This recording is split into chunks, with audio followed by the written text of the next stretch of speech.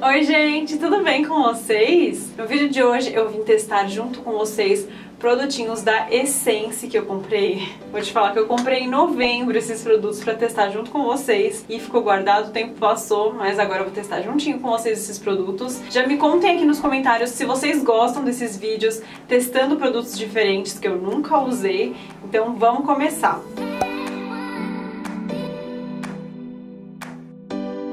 Eu comprei esses produtos na Daiso do Shopping Pátio Paulista, então eu comprei aqui uma base em mousse essa marca Essência é uma marca alemã que é super famosa na Europa e ela é muito acessível nesses países, tá? Eu vou pesquisar o valor certinho de cada produto pra deixar aqui na tela pra vocês, porque agora eu não me recordo mais. Mas essa base eu comprei porque uma moça na loja me falou que era excelente, é uma base de efeito mate, que fica bonita e que tem uma durabilidade, é o que ela me falou, né? Vamos testar. Comprei também um pozinho, que é um pó matificante, um blush, que eu amo blush demais, e uma máscara de cílios, essa máscara também é famosinha, então eu quero saber se esses produtos valem a fama que eles têm. Vou começar aplicando a base, eu peguei um pincel Kabuki, vocês podem ver que ela tá novíssima, eu nunca testei, e a minha é na cor 01, eu não sei se vai dar certo, porque não tinha tester, enfim, eu, eu achei um pouquinho difícil de escolher a cor. Ai, gente, será que isso vai dar certo?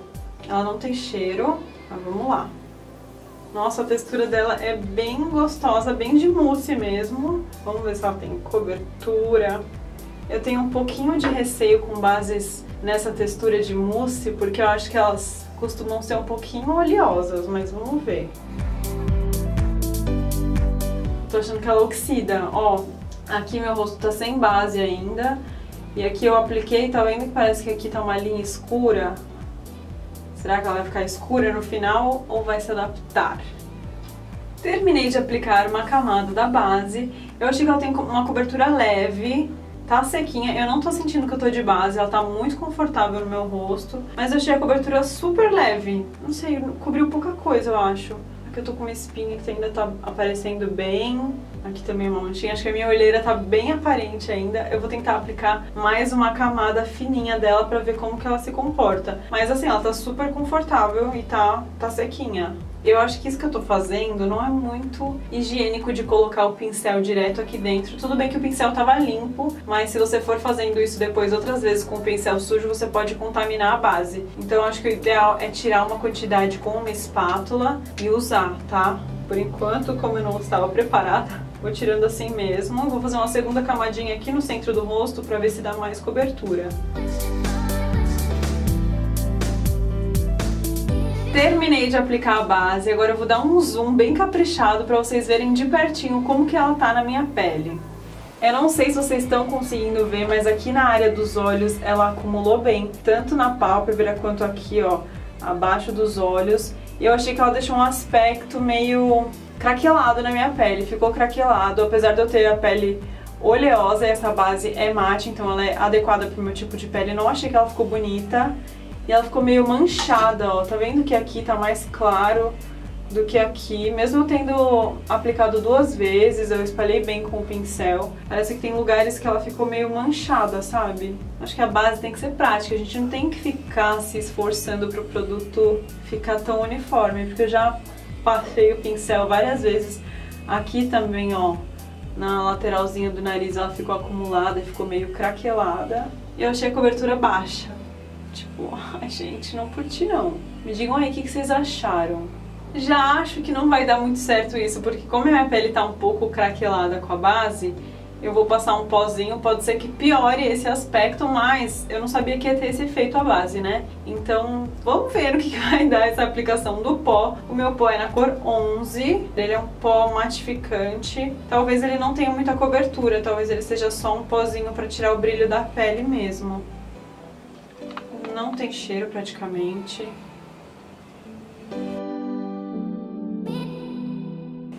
Ele parece que ele tem uma textura bem fininha. Ó, passei no dedo pra mostrar pra vocês.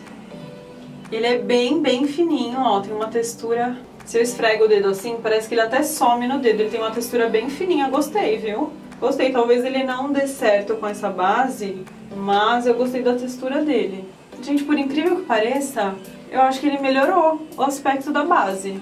Melhorou, parece que a pele tá mais assentada agora. Achei que ia piorar, mas ainda tem uma linhazinha acumulada aqui na minha pálpebra.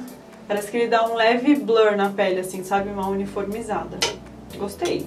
Tá vendo? Nem tudo está perdido. Agora vamos pro blush. Eu amei a cor desse blush, por isso que eu comprei. O meu é na cor 20. Ele tem esse desenho de estrelinhas. Eu adoro esse tom de blush meio malva, assim, meio rosé. Vamos fazer uma carinha de metida? Aplicar ele assim. Ele me parece não ser tão pigmentado, o que pra um blush é um ponto positivo, porque evita aquele efeito de chinelada na cara, né? Eu tô gostando desse efeito de coradinha de sol, assim. Pra falar a verdade, minha maquiagem do dia a dia tá sendo bem essa, assim, a base, um pozinho, um blush e um rímel. Então esse vídeo vai ficar com uma make bem do dia a dia, assim. Ai, gente, gostei do blush, achei uma cor bem de menina meiga. eu vou passar um pouquinho aqui no nariz, assim, ó, pra dar a impressão que eu tomei sol, sabe? Fica um efeito bem interessante, eu gosto. Ó, tá vendo? Fica uma carinha de que eu tomei um solzinho. Já dá uma vida na pessoa o blush. Esfuma bem, gostei. O blush está aprovado. E agora vamos testar a máscara de cílios. Essa aqui é I Love Extreme. Acho que é isso, é uma máscara de volume. Ela tem esse aplicador de silicone mais gordinho. Agora vamos aplicar essa máscara pra ver se ela vai dar volume mesmo. Vou começar aplicando desse lado aqui pra gente comparar. Tô gostando, hein? Parece que ela é mais grossinha. Olha o efeito que ela deu com uma camada só. Gostei, achei poderosa. Vamos ver se ela demora pra secar. Agora eu vou aplicando do outro lado.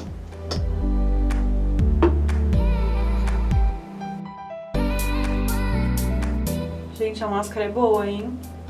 Olha, com uma passadinha já fica o cílio bem, bem volumoso. Deixa eu passar um pouquinho mais desse lado, fazer uma segunda camada.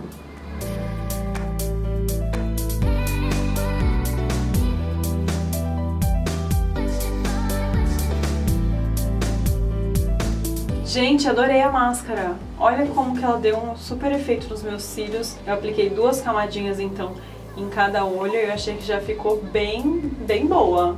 Gostei. Ela é um pouco mais grossinha. O aplicador é um pouco grandinho, mas é fácil de aplicar, eu não borrei. Gostei, está aprovado. Eu tô amando usar esse tipo de maquiagem no meu dia a dia, bem levinho assim. Então agora as minhas considerações finais sobre os produtos.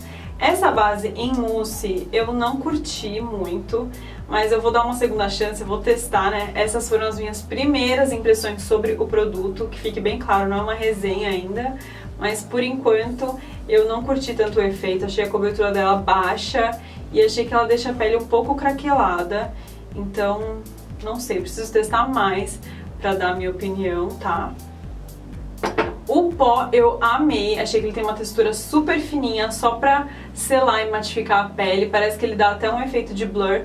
Eu achei que ele até melhorou um pouco o aspecto da base, eu achei que iria piorar, né?